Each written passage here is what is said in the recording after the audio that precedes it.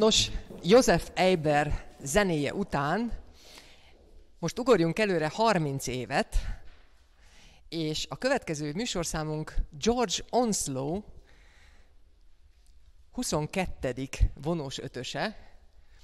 George Onslow nevét talán kevesen ismerhetik önök közül, bár a 19. század első felében őt még az akkor élt legnagyobb szerzőkkel, Mendelssohnnal és Schumannal emlegették együtt.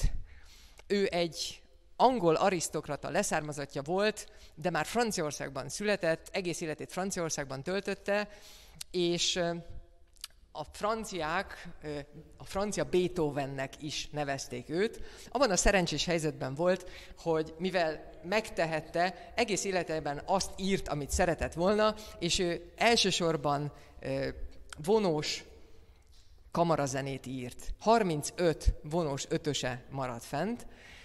Nagyon érdekes, hogy eredetileg ezeket a vonós ötösöket két hegedű brácsa és két cselló felállásra írta, de aztán egyszer egy londoni előadás során a második csellista lebetegedett, és beugrott helyette egy nagyon híres bőgő virtuóz Dragonetti, aki annyira jól és virtuózan játszotta a második cselló szólamot, hogy Onslow átgondolta a dolgot, és onnantól kezdve csak bőgőre és csellóra írta a vonós ötöseit, sőt, visszamenőleg megváltoztatta a korábbiakat is, hogy erre a felállásra, ebben a felállásban játszák majd az együttesek.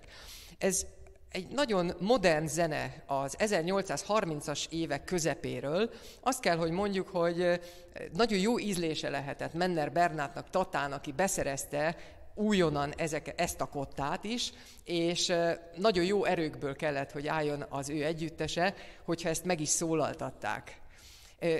Valószínűleg ez a darab sem hangzott el az elmúlt 170-80 évben Magyarországon, úgyhogy fogadják szeretettel George Onslow S-dur vonós ötösét.